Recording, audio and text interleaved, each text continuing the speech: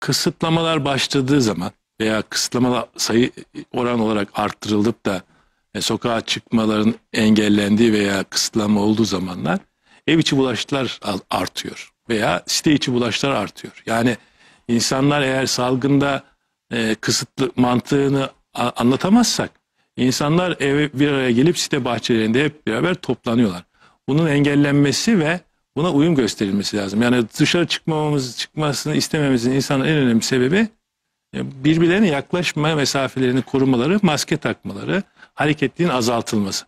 Eğer büyük, özellikle büyük sitelerde bir araya gelişler fazlalaşırsa bunun bir anlamı kalmıyor. Veya ev içinde kalabalık özellikle e, Esenler gibi, Sultan Gazi gibi çok fazla miktarda aile büyük ailelerin yaşadığı evlerde bir araya gelip de birbirlerine bulaştırdıkları zaman o zaman yaptığımız özverinin ve o kadar emeğin e, sonucu alınamıyor. Onun için insanların bu hususa dikkat etmesinde fayda görüyorum ben. E, sonuçta şu var, zor bir de süreç yaşıyor herkes. Ama biz bu süreci yaşarken de e, bu sadece maske takmak bile karşındaki insanımızı bulaştırma oranını e, çok büyük oranda azaltıyor.